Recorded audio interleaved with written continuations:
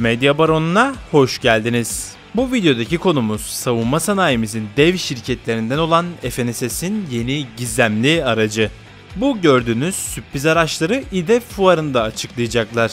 Her yıl olan bu savunma sanayi fuarı çoğu zaman yeni sistemlerin açıklandığı bir yer olmuştur. Ancak FNSS'in farklı bir yöne el attığına dair iddialar var. Özellikle soldaki araç fazlasıyla dikkatimizi çekti. Peki bu sürpriz araç ne olabilir? Özellikleri şekli şemaline bakarak nasıl olur?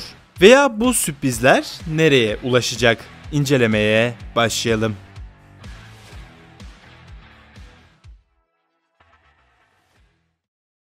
FNSS, Türk savunma sanayindeki gözde bir firma. Öyle ki tek başına hem bize hem de dünyanın birçok yerine satış yaptı. Hatta bizim için kısa zaman içinde tamamlanacak yüzlerce tank savar aracı siparişi var. Ek olarak Endonezya'ya orta sınıf tank, denize amfibi araç gibi yaptıkları seçenekler de var. Geniş bir ürün yelpazesi olduğunu görebiliriz. Üstüne yeni ortaya çıkartmış oldukları görsel bunun en büyük kanıtı.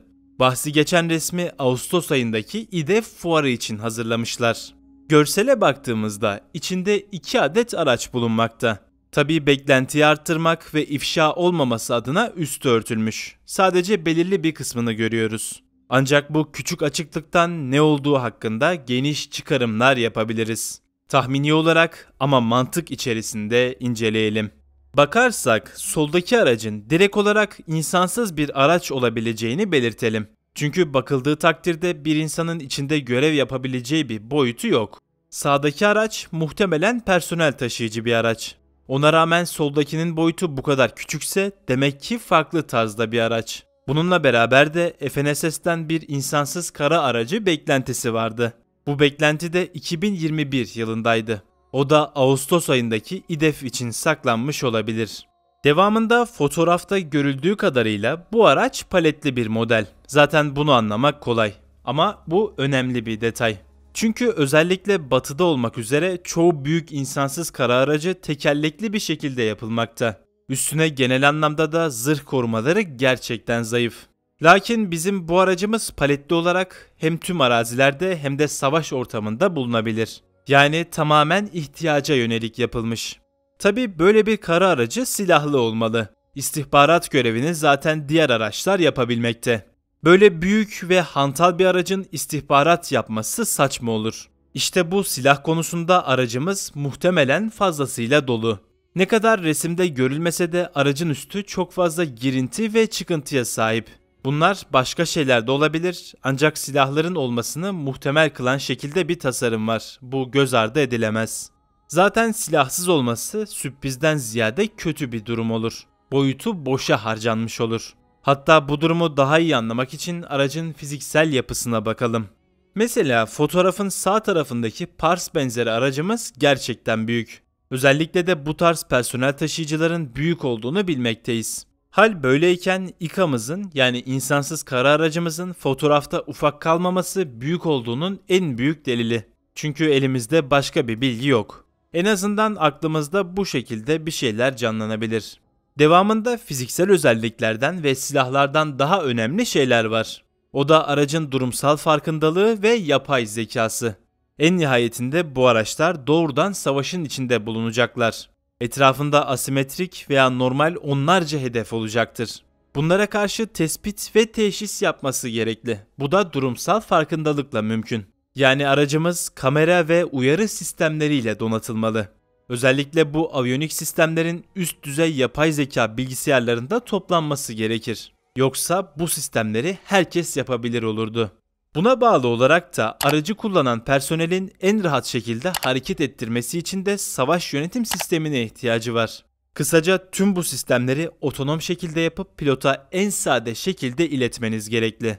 Böylece çatışma sırasında her daim 1-0 önde olursunuz. FNSS firması kara araçlarında oldukça bilgili. Farklı tipte araçlar yaptıklarından İKA'yı buna göre kolayca dizayn edeceklerdir. Yani kulesini, silah bölmesini, iç sistemlerini oturtabilir. Ek olarak FNSS NAS-9'u seçtik. Kendisi bizimki gibi büyük ve dolu insansız araçlara örnek. Başlangıçta şu bilgiyi vererek girelim. Zırh ve kara aracı konusunda Ruslar bizden daha tecrübeli. Sonuçta geçmişten bu yana dünyadaki en büyük kara ordusuna sahipler. Bunu unutmayalım.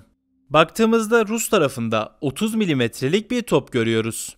Bu da hafif zırhlı araçlar için çok büyük bir tehdit. Hele ki kirpi gibi araçları doğrudan yok edebilir.